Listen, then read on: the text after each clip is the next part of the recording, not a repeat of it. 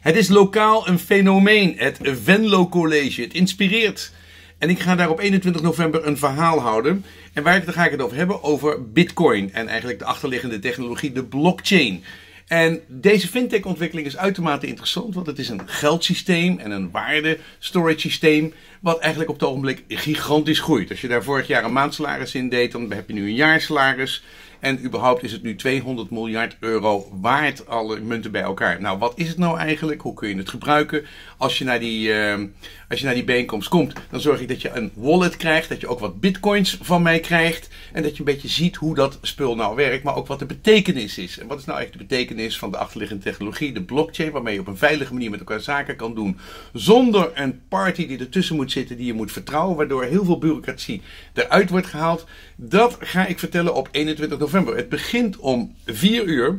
En het is in het poppodium Grenswerk. En het is al voor de zevende keer. Er komt ook nog een spreker over crowdfunding. Ook een hartstikke interessant onderwerp. Dus ik zou erbij zijn op 21 november.